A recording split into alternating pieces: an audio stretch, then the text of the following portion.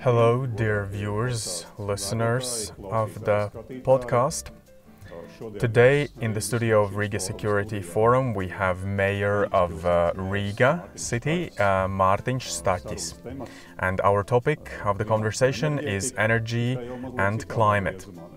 Uh, in from the local perspective, not from global perspective, but Riga is a important and significant city in the region, in the Baltic region. It's uh, maybe not the largest city, but uh, it influences uh, the energy consumption in the region and how we view mobility of the citizens in the future, how we view the perspective of living in a cleaner city, in a city where there are where the homes are warmer.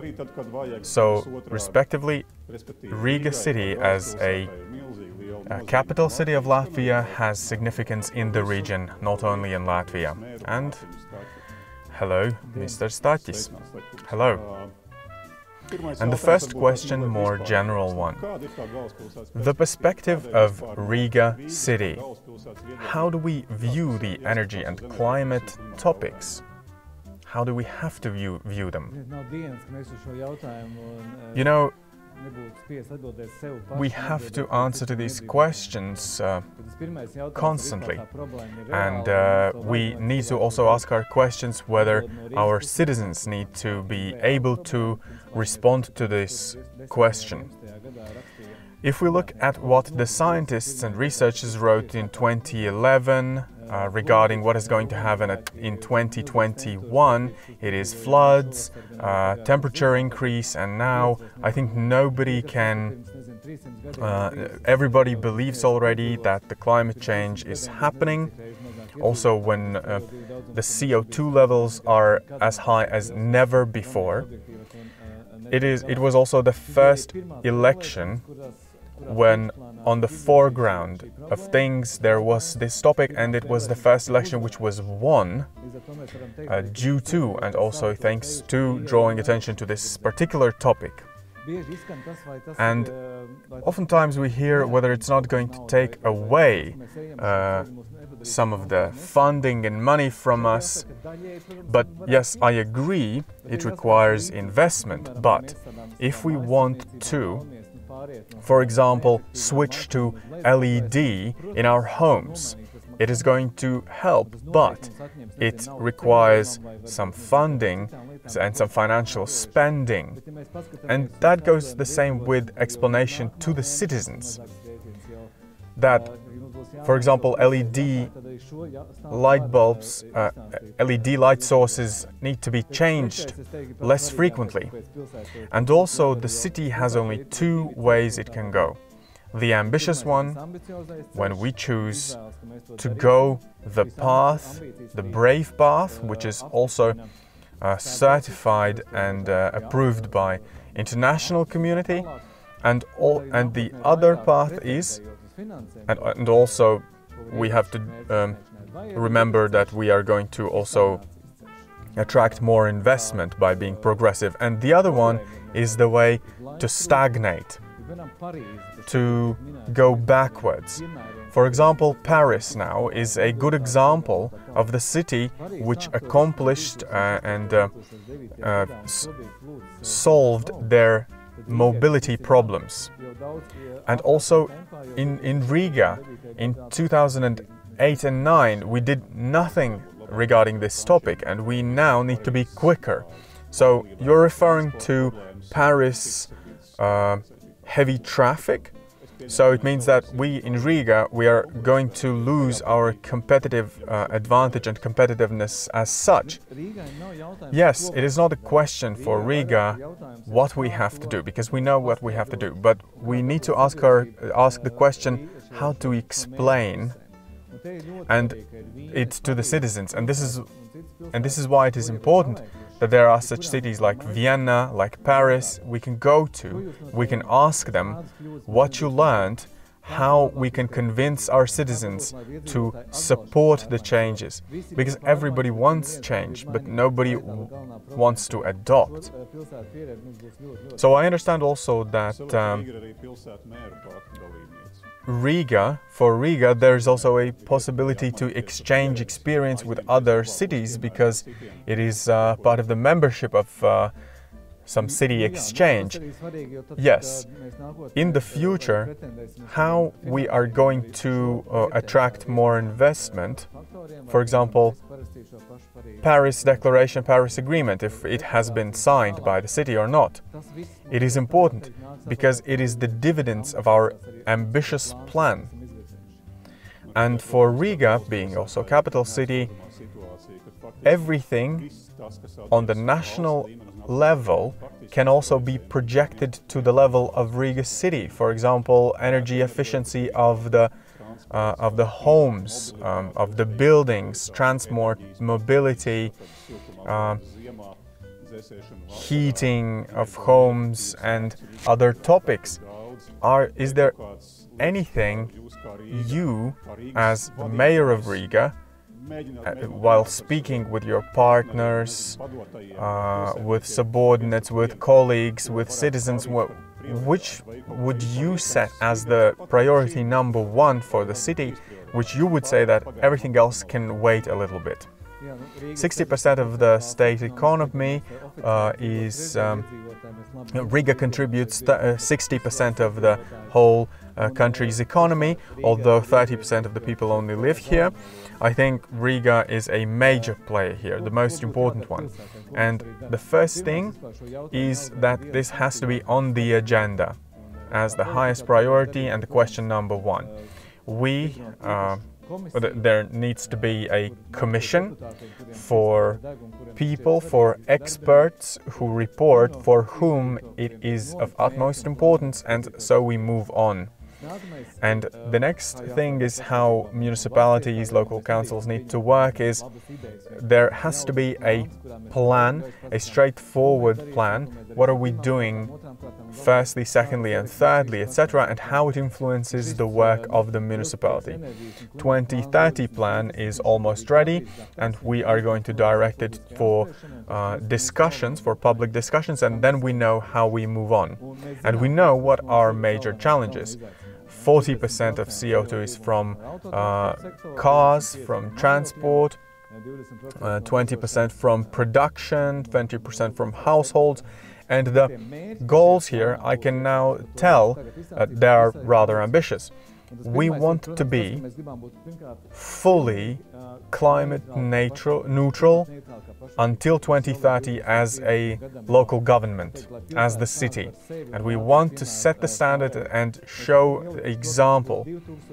2000 uh, buildings renovated, 20% uh, decrease of energy consumption in municipality sector, zero emission uh, public transportation fleet, and also lighting in the city with renewable sources, from renewable sources. Well, very ambitious plans. Each of the points would influence significantly the sector and we need to show it to whole Europe. And then we will say that Riga is ready, referring to the tale that Riga is never ready. Riga has set, set the priority to become the leader in the Baltic states, and this is where we're heading. Very nice to hear. Uh, for example, uh, also, as I know, is um, the central heating in the city, uh, one of the priorities, and uh, how uh, how we produce this energy, and also that we know now that there is no difference between the right and left bank, and uh, we are burning uh, natural gas for heating of homes and uh, has Riga thought about reducing this, um, reducing uh, the dependency on the natural gas in heating? Even though you see the big chimneys, um, the people sometimes think that um, uh, the people sometimes think that it's very uh, that it produces a lot of pollutants, but actually it's um, it's just vapors mostly. Gas, biomass, these are the resources, and um, and I think that we are going to achieve our goals uh, in the uh, in the next several years. But the difficulty is actually uh, the left bank of uh, Daugava River, where there's a lot of people with fireplaces which uh, burn uh, burn wood in order to heat their homes. And there are also people, not only those people, but and households, but also people who cannot even afford wood. And this is the problem because they collect anything, they take anything and burn it. And so we can only connect them to the central heating of the city. Well, the solution would be to connect them to the central heating. And we also see that there are people who could switch, but they are not doing this. And this is what we have Restart Agency, which they and their um, their objective is going to be inform about heat pumps, about solar panels, because nowadays, today, it's not it's not that expensive actually, and you can attract the funding so that you wouldn't even feel from the future uh, saved um, uh, monthly installments, you wouldn't even feel this investment. This is one of the uh, most important goals to achieve. And also, when we had this, when we remember the situation in the 90s, when everybody chooses how they uh, switch and to what kind of heat source they switch, not anymore topical because we need to choose a uh, environmentally friendly system or we connect to the central heating to the whole city. Um, my intention was also to torture, so to say, you a little bit, uh, to choose one or the other priority, which I would be telling uh, structural changes or one particular kind of uh, heat source or transport mobility. Uh, so, like, if you had to choose one, which are you going to start with? We're going to choose, uh, like, we're going to achieve everything and draw attention to everything. But the number one priority which we are going to start with is mobility. What can we do? First of all, we can switch to more environmentally friendly fleet in public transportation. We have diesel buses, uh, and we are now purchasing 40 electric buses. And I think that by 2030 we're going to have all our fleet changed.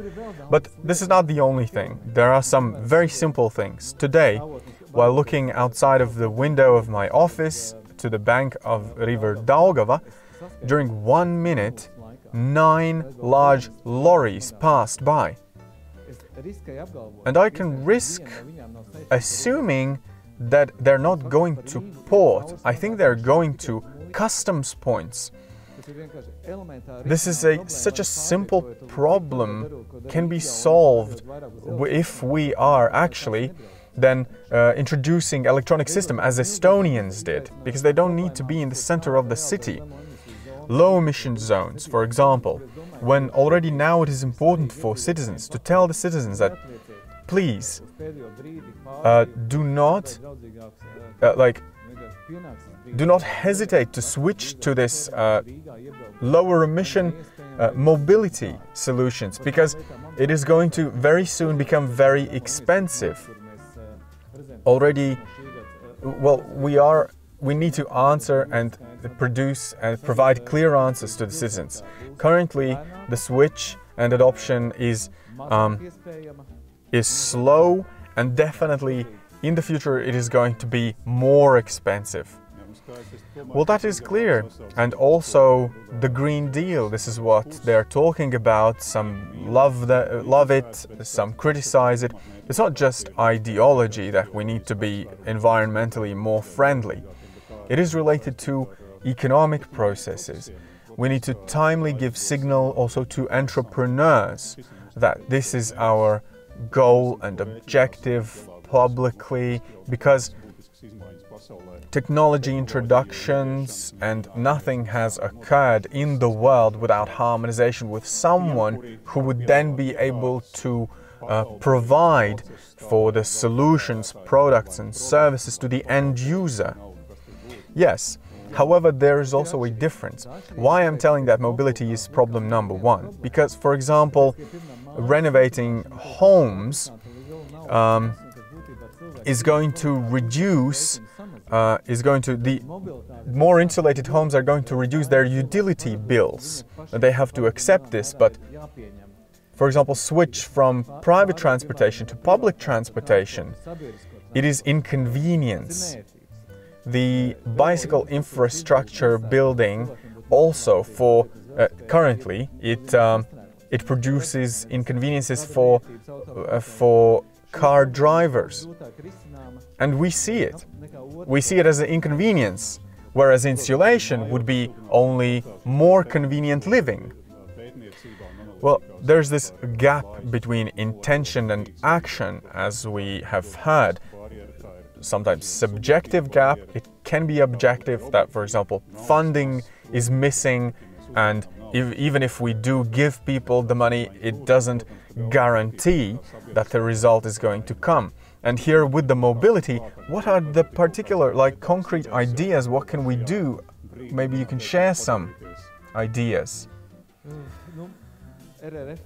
The funds or resilience funds, uh, 300 millions are intended for this. Uh, public transportation, uh, bicycle infrastructure, uh, railroads, it is clear that in long term, and the main concern is going to be that from Salaspils, in order to go to Mežciems, one of the neighborhoods in Riga, we need to go through center. So currently there's a transport squeezing inside the center from outside of Riga and from all neighborhoods of Riga.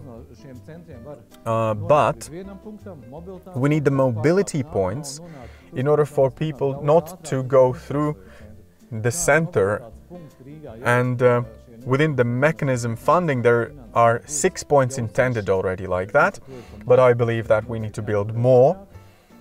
And I need, I believe that we need to build transport line in order to connect uh, public transportation and uh, bicycle infrastructure, railroad, all in one system with one ticket between the train and other means of public transportation and also tens of kilometers, hundreds of kilometers in order to connect also Riga city with the nearest also other municipalities. I think in four to five years and in 10 years definitely, you're going to see major changes in public transportation and in infrastructure.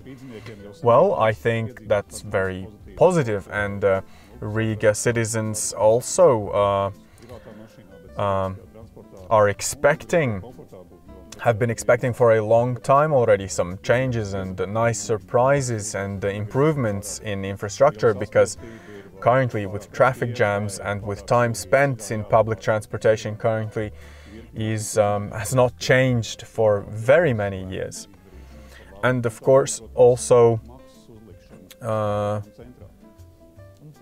uh, also uh, paid parkings in the city, in the city center. Yes, we do have them already, yes, but they are going to become more expensive. And now the energy efficiency of the buildings and their insulation.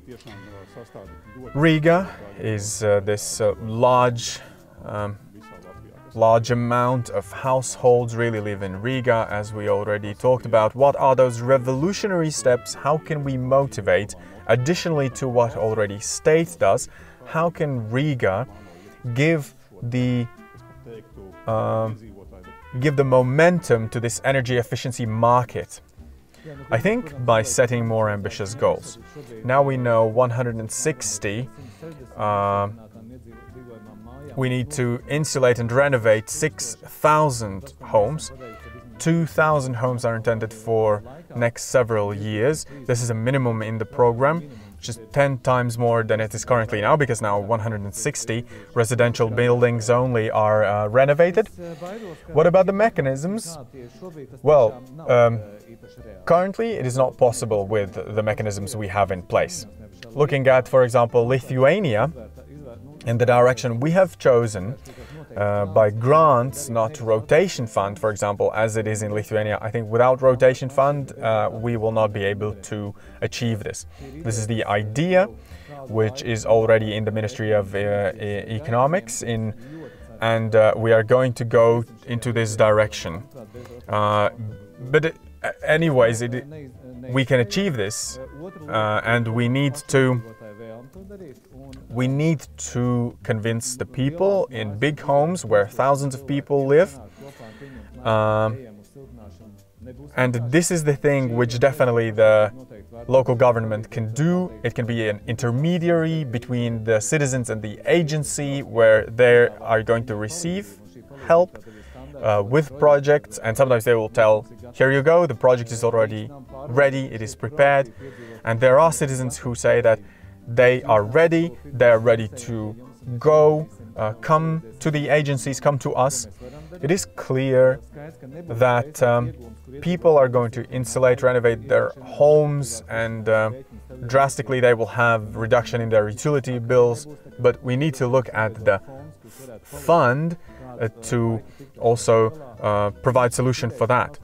There are proposals which we can put on the table. I definitely see that it is real. Uh, it is not impossible to achieve. There are also uh, lenders available, and I would say that funding is not the most important problem, so to say.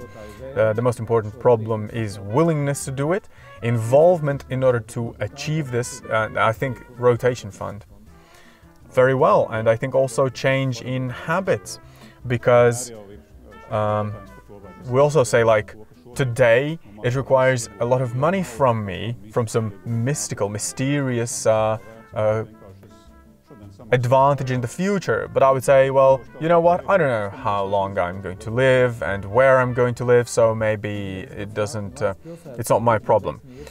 I come from small town and um, and and I I have been to those homes and I ask them uh, we have asked them how is it? Is it more convenient now to live in a renovated home? And they say yes. The homes are not that uh, hot not that cold etc so it also improves their uh, the value of their homes for later sale for example.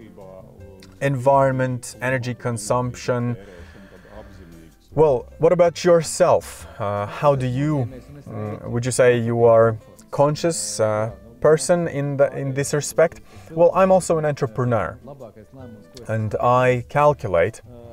Currently, I am solving the issue of uh, electricity bill, and this is why I have also now concluded agreement for solar panel installation within four to six months, next four to six months, I am going to, I hope to solve this issue. And Mm, eh, and in spring, I'm expecting to also become an owner of an electric vehicle. And I am taking all these steps with very careful considerations.